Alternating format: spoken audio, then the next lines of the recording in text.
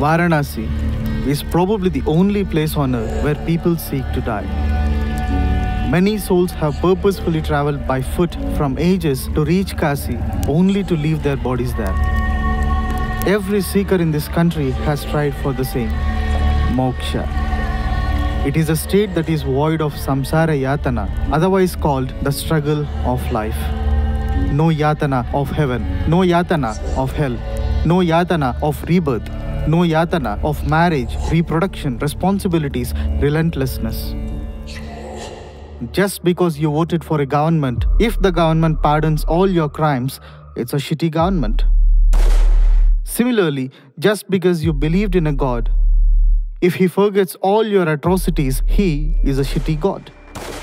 Whether you believe in him or not, he who gives you what you deserve for all your wrongdoings is Kala Bhairava. All the karma has to be washed off. This is done by him to those who die consciously in Varanasi. And what the soul goes through during these few seconds is called Bhairava Yatana. RK and I pray sincerely that he gives a taste of this Bhairava Yatana to the traitors of this motherland as we dance in ecstasy.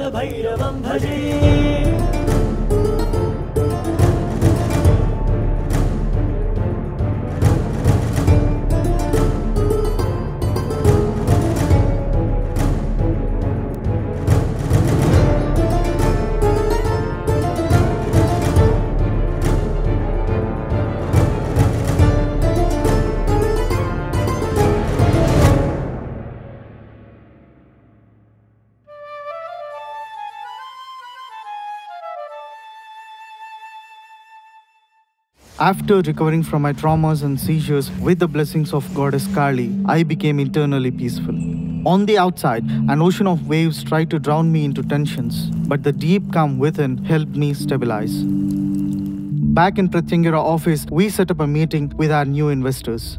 Atul Rao, the politician, and Vishal Das, a competitor in some of our businesses, were sitting across my table with fake smiles.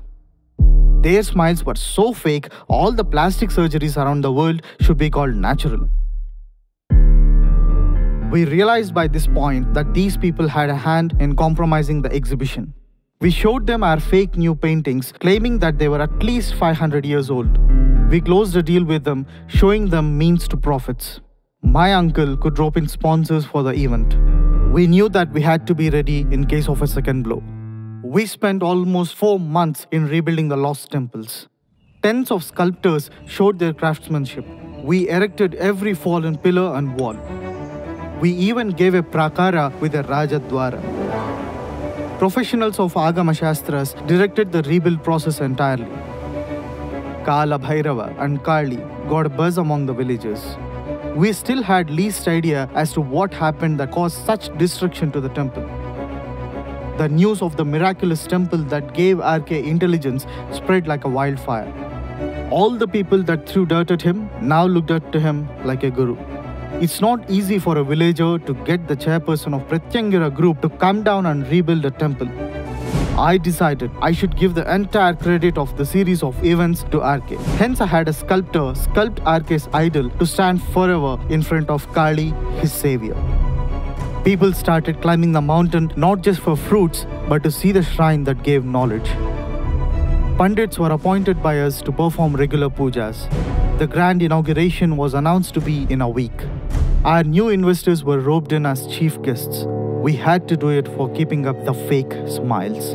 Chief guests, my foot. The backstabbers didn't have the eligibility to even visit the shrine. But the lesson from Mohini Avatar taught us to keep the Rakshasas entangled till the main job is done. Seven days to open the place for public to perform rituals, an old man walked up with bare feet. His skin had wrinkles, and his eyes seemed to have witnessed more history than the historians. His silver hair reflected back the golden light rays that the setting sun gave. I could see the love he held for the sculpted rocks.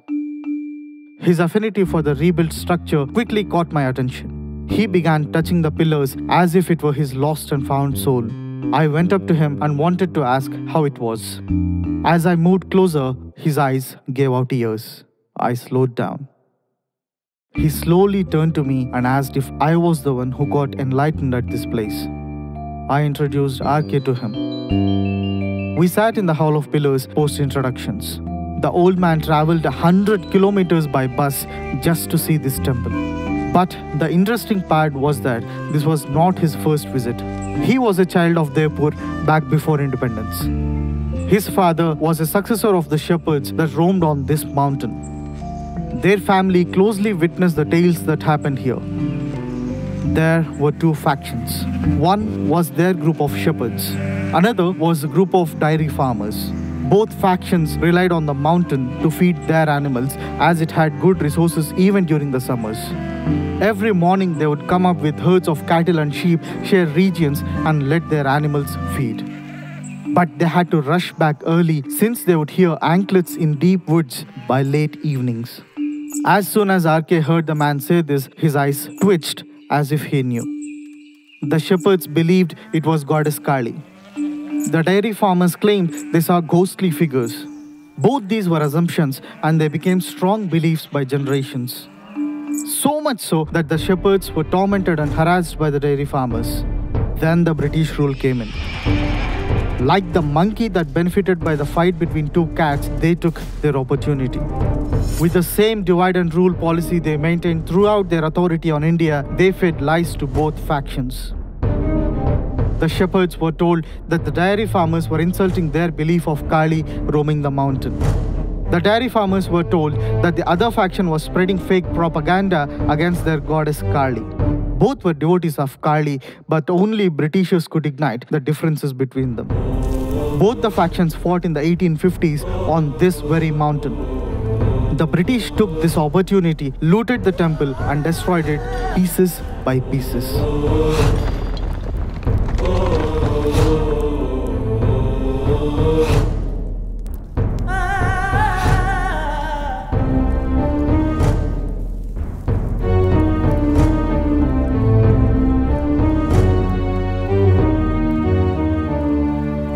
Factions realized their beloved temple was being demolished but could only save Kali temple. Kala Bhairava shrine was long lost. This is not just the story of one temple. This is the same strategy that all the invaders use till now, and the same strategy that the traitors of this country are using even today. This is the story of every temple that stands in ruins. There is blood spilled on these broken walls and lives ended of those who tried to protect their shrines of worship. The Endowments Act that the rulers had imposed on Devpur exclusively forbade them from rebuilding the Kala Bhairava shrine. Eventually, the rituals at this temple saw a downfall. What riches this shrine had seen were eaten bellyful by the superior whites. The factions still loved Kali in the broken shrine. Some of them still heard anklets on the mountain, but never came to a conclusion as to if it was a ghost or Kali herself. Legends say that the mountain still holds the skeletons of those that died on that day on this mountain. By generations, the factions migrated to other places, some stayed back. This old man was such descendant of the shepherd's faction who held love for Kali since his childhood. His poverty did not allow him to rebuild the temple for her. But today, hearing the news that his ancestral goddess was about to regain her glory, he traveled all the way aged 82.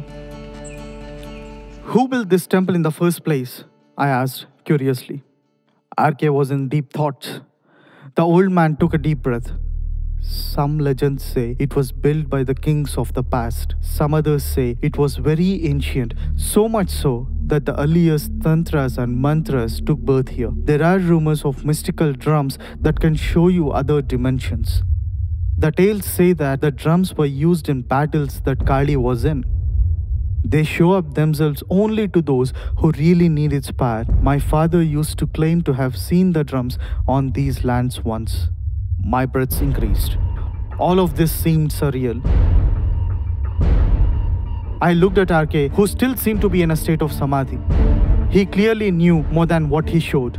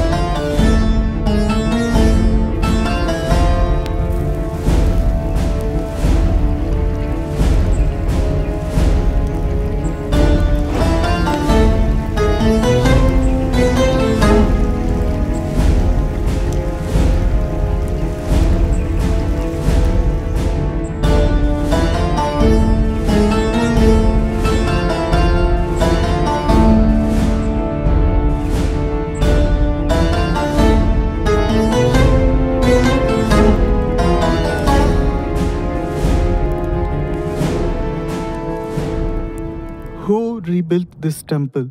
The old man asked, interrupting my stream of thoughts. He did, RK said in a trance, pointing at me. Before I knew it, the old man dropped onto his knees and bowed his head down at my feet. This has been my lifetime dream, he said in a shaky voice. There hasn't been a day I haven't prayed for this to happen. Today, all my prayers are answered. I looked back at Kali and Kala Bhairava shrines.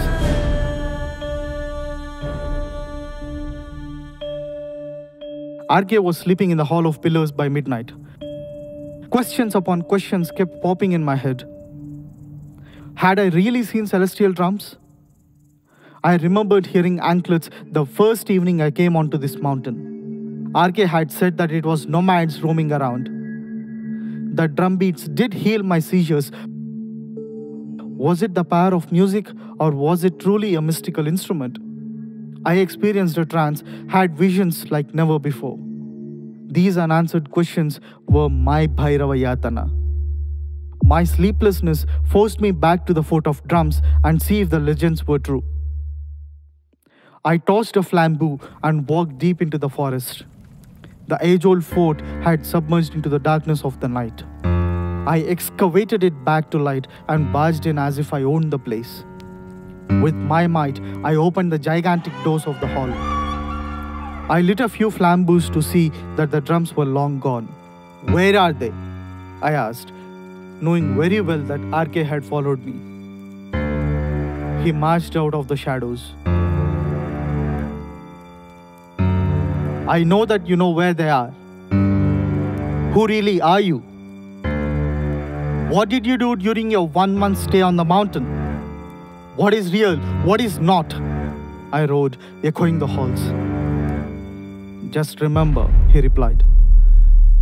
When you learn about an enlightened being, your regular logic doesn't apply to that person. I listened quietly, hoping for him to continue. The night that we came here was a new moon night. People usually perceive Amavasya as a bad omen, but it is in fact the opposite for seekers. The drums showed up on that time. We just happened to be here. I can say no more. Desperation grew within me. I trust you as a brother. We have known each other for about four months. You know everything about me, but I know just fragments of your vast experiences. I knelt down at his might. I wanted to learn of the other dimensions. I realized that the dimension we lived in was just a minute illusion of reality. I joined my hands and looked up to him with respect, saying, Teach me, RK. What all truths have you discovered? He kneeled in front of me and put his hand on my shoulder. You do not know what stature you hold. I am forever your blood brother. I'll tell you all that I know. But first, we need to play our parts, get the exhibition right, and we'll travel to other possibilities. The country's reputation is at stake. Your part is to play the chosen one. I'm your support. You're the hero. I stay the sidekick. Let's play our parts, and once the curtains close, I'll show you new roles to play, he said. The need for me to resolve the lost paintings issue doubled. I asked if he could do anything to get closer to solving the problem. He stood up, posed in his usual narrative style, and began speaking. I was just waiting for the right time. The case was solved a month ago. Ever since we realized three suspects the HR, the head of sales, and the secretary I closely observed them, had conversations with them, and drew conclusions. From the individual narratives that these three had given to me, I realized the secretary had different story from the other two. At first, I thought it was the secretary that was lying. The taps were broken in the bathrooms, which urged your secretary to call the plumbers. This wasn't pre-scheduled, the phone record suggests that. I met with the plumbers that came in. They said that it seemed as if the pipes were intentionally broken. But from the narrative of head of sales and HR, they tried injecting this idea into my mind that the secretary himself might have broken the pipes to bring in burglars. That gave me their agenda. They were not stating facts but pointing fingers at others to plant negativity in my mind.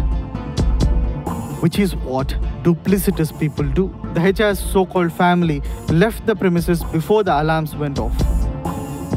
So their vehicle was not checked.